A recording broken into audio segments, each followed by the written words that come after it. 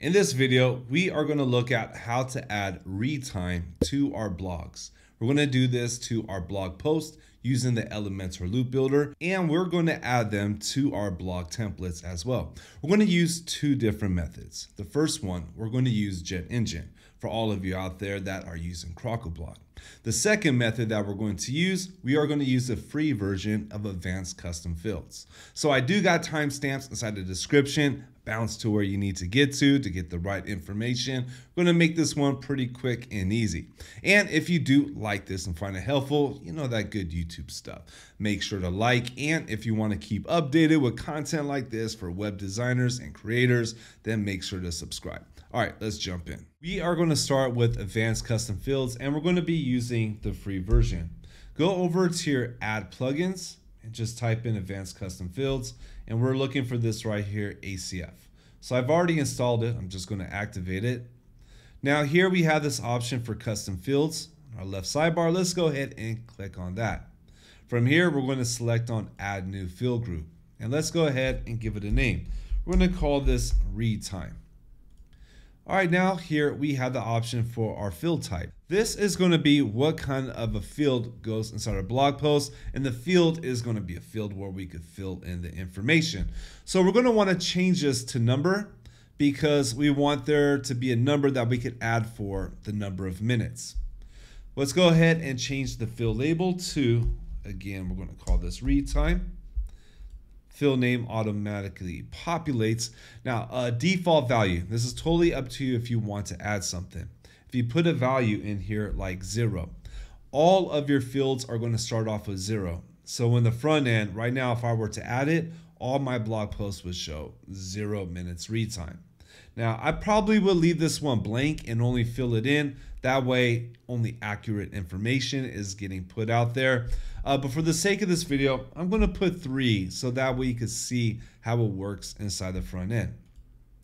From here now we have our settings and the settings are already set up good to go. This is going to be for a post type which is WordPress default post equal to and post. So it's all good to go. Now I'm going to go ahead and save the changes. And here is one of my blog posts right here. Now, all the way down here at the bottom, you can see the custom field. If you do not see this custom field, then something went wrong. Go back through and make sure everything was done right and everything was saved correctly. Now with this set up, we are good to go to add it to Elementor. We're going to start off with a loop builder, so that way we have it in our post grids, and then we're going to go to our blog template. I'm going to be using this demo website right here and I have my loops right over here. It's not that pretty. I just did something really quick and simple. So let me edit this. Now select on edit template and from here, whatever we add in here is going to reflect for the rest of the post grid. I did make a video on the loop builder in case if you are new to it. I'll go ahead and leave a link somewhere around here. All right, so now we got our title, our button, and featured image. Let's add in our read time inside here. I'm gonna go over to my widgets and I'm gonna put post info. I'm gonna slide this right down below the title. Let me undo all these. I just want one item. I'm going to change this type over here to custom. Now in the custom, we're going to select on dynamic tags. And here, scroll all the way down to our ACF, and we're going to add on ACF field. Now click on this right here where it says ACF field, and we're going to have this drop down for settings, and underneath key, we're going to see the one that we created, which is our read time. Next, we want to go to our advanced, and we want to add in our before and after. So I'm going to put in right here read time.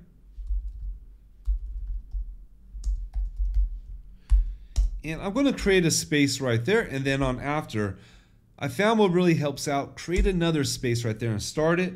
And then I'm going to put just min.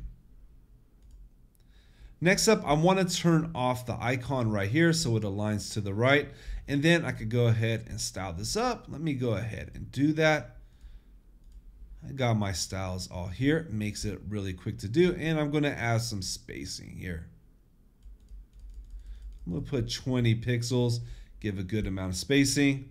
Let's go ahead. You can select on update right here, or you can click on save and back and it'll do the same.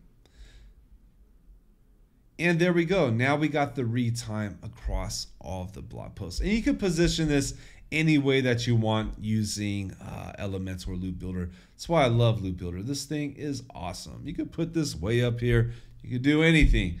You can make it go sideways. All right, we're not going to go there right now. All right, really quick, let me show you how this all works. So if we look at the front end, we're going to see three minutes. And we got finding your ideal client right here. So I'm going to go to that blog post. And let's say this one is a very small blog post. So I'm going to put on just one minute. Let's update that. We could refresh it. And there you can see we have our read time. All right, let's now go add this to our blog template. So that way when we see a single post, we have it right there. Let's go over and create a template really quick. We're gonna make a really fast one. Now from here, I'm going to add new and I am going to add a single post. I'm going to call this one my blog template.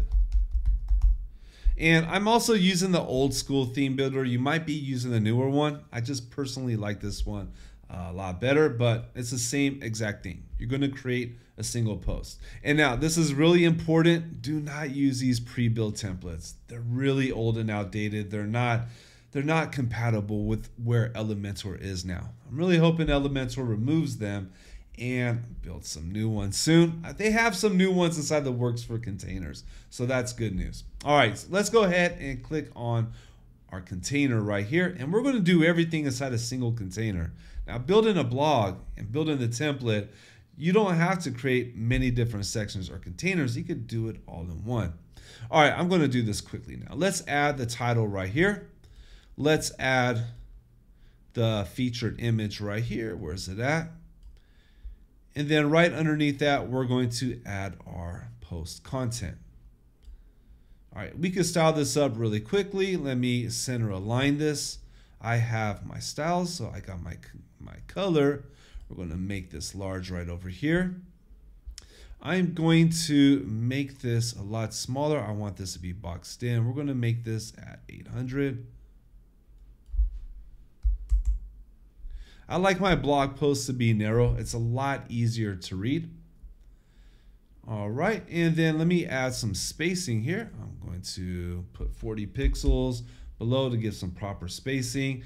And let me fix this up as well. I'm gonna make that black. And then I got my body text right here. In fact, I'm gonna make this more narrow. I'm gonna make it 650. All right, and now I want to put the read time and author right here. So let's go back here and let's put the post info widget. And let's remove two of them. We could keep the author. I think the author is cool to have. For the date, let's go back and do the same thing that we did. We're going to change it to custom. We're going to select on dynamic tags, go down here to ACF field, click on ACF field, and select on read time. We're going to do the same in the advanced. Before, we're going to put read time, add a space as well, and then after, start off by adding a space, and we'll put min right here, short for minutes. All right, now for the icon, we do want to put an icon right here because it would be kind of cool. If you want to put one, you don't have to. I'm going to go here, I'm going to put time. And let's see, do we have a watch? A clock. Here we go. Now let's go ahead and style it up. We're going to make our icons this dark blue, our text this dark blue, and let's go ahead and get that. And then we could center align that, add a little bit of spacing. All right, you can see I'm geeking out now, but I like to show a bit of my design process. Now I will go ahead and put some spacing around here. I'll probably put like 20, pixels all around and then the top and bottom I would do 80 this is what I normally do for a blog post and we have our read time with our author right here. Super easy. Now let's jump over to jet engine because it's very similar. Let me go over back to my plugins. I'm going to activate my jet engine. From here now I'm going to go over to meta boxes. And the meta boxes are going to work the same as a custom field. So I'm going to click on meta box I'm going to add a new one. I'm going to call this one read time. And we're going to keep it on it for post. That's what it's for. I want to put on edit the meta box link. There's a few more options here, all right? There's a few more than the ACF and some cool things that we could do as well. Now let's enable it and we're going to select on post. Now we need to create our meta field, same thing as a custom field. Select on that. Let's go ahead and give it a name. I'm going to call it read time. Oops. Same thing, auto populates. We're going to keep this as a field. I want a field, just something easy to fill in. And same thing right here is ACF. We got these options and I want to change it from text over here to number. Where is number at? There we go.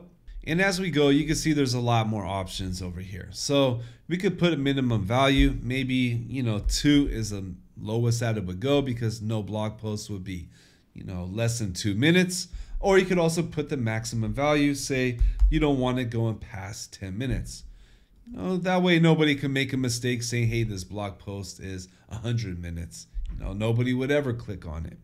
All right, we could put in our description. You know, this is the read time. We could change our fill width. We're going to leave it just as it is. And then same thing as ACF, we have our default value.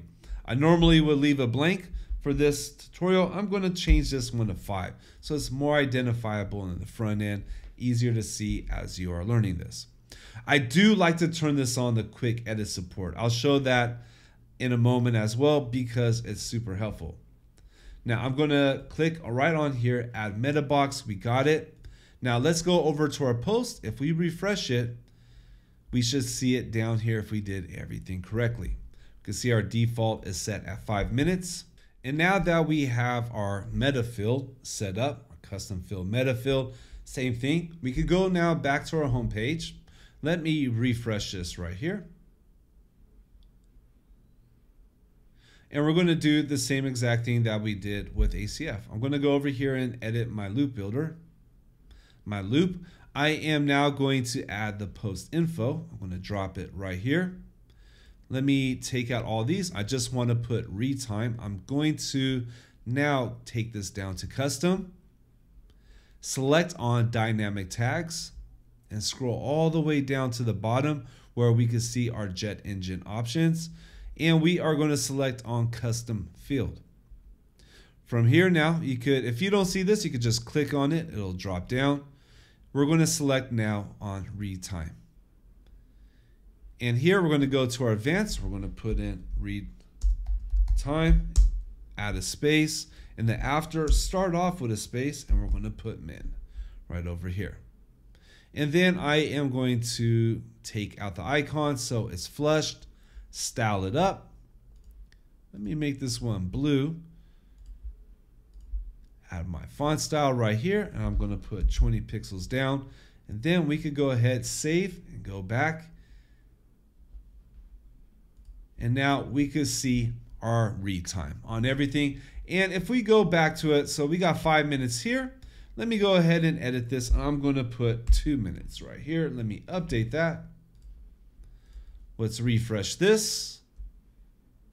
And now you can see we got two minutes. Now, if you are wondering, well, how do I find out the actual read time for a blog post?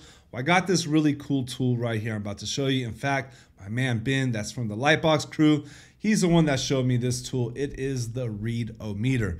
It is completely free and I'll leave a link to it inside the description. Basically, let's just go here. What we could do is copy and paste all the text. I'm just going to scroll capture all of this, copy it, paste it in here, select on estimate reading time, and there we go, seven and a half minutes. Probably will round it down because people don't want to read long blog posts, but it's completely free, really helpful. Also, in case if you're wondering, well, why not use a plugin?